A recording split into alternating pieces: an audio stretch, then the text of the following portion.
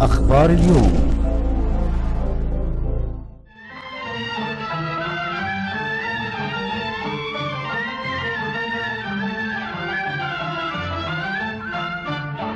رمضان جانا وفرحنا به بعد غيابه وبقاله زمان. كل سنة وأنتم طيبين بمناسبة حلول شهر رمضان الكريم.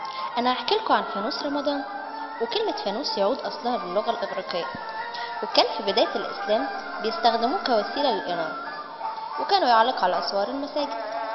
أما أصل الفانوس وبداية استخدامه كان في حكايات كتير قوي وأشهرها إن الخليفة الفاطمي كان يخرج لاستطلاع الهلال رمضان وكان يخرج الأطفال بالفوانيس لينوروا له الطريق. وكانوا يغنوا أغاني جميلة بفرحة رمضان. وهيفضل فانوس عادة رمضانية رائعة اللي بتنشر السرور والبهجة على الأطفال والكبار.